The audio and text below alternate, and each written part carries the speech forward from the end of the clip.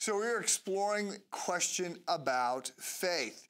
Yesterday we talked about faith as being part of the transition uh, of our relationship with God. I talked about a spectrum, negative numbers, positive numbers.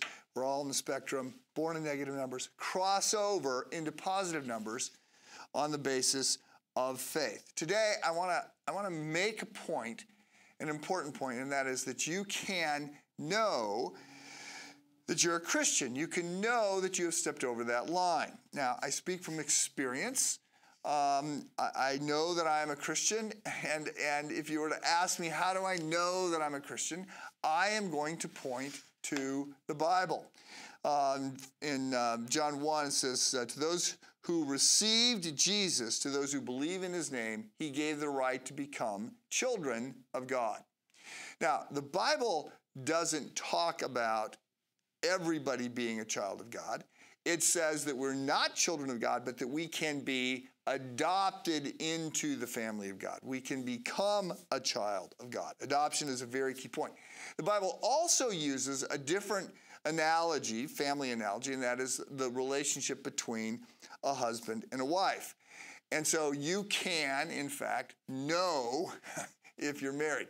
I remember watching one of these, you know, watching a video of, of somebody asking people if they're a Christian and all the different answers that people were given.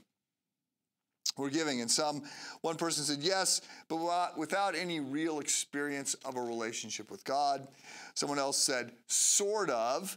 Uh, another one said I grew up that way, uh, and another one said, "Are you a Christian?" And he said, "Ish, I'm Christian-ish." So let me just step back and say, if you were to ask me if I'm married, and I said, uh, ish, or yes, but without any real uh, experience of a relationship, or I, whatever, I grew up that way.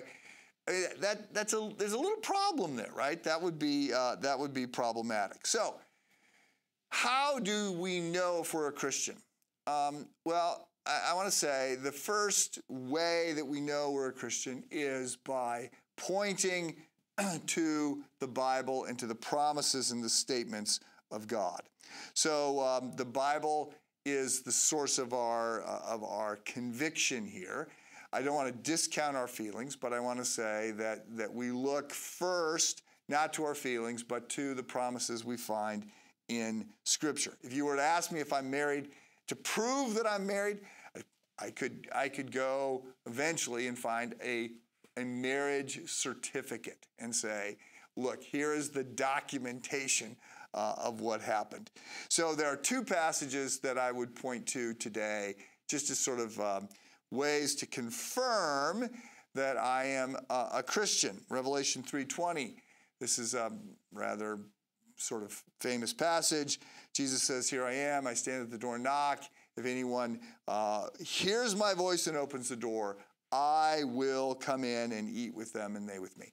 And so, this idea here, especially in, in the Middle Eastern setting where they didn't do fast food, having a meal with somebody was a real significant kind of commitment that you were making, and it just it, it, it, it is pointing to a very deep and significant relationship. And so Jesus uh, is not forcing his way into our life, but he says, if if you open the door right? If you if you receive me i am i am standing at the door and knocking. If you receive me uh, then i will. There's a promise there. It's not maybe i will or if i feel like it i will but i will uh, come in. I will enter into a relationship with you. So if you have made that decision right then then the promises that we have from the bible are that you become a Christ follower. You move from negative to positive numbers. Second passage to look to would be John 10 28. And Jesus says, I give them eternal life. No one can snatch them from my hand. I don't have a lot of confidence in my ability uh, to be, a, you know, to be a Christian, or to stay a Christian, whatever. I have a lot of confidence in Jesus. And so he says, I give them eternal life and no one can snatch them from my hand. So the question is, and we'll continue to explore this this week about faith. Are you a Christian? Have you crossed over the line? We'll talk more tomorrow. Have a good day.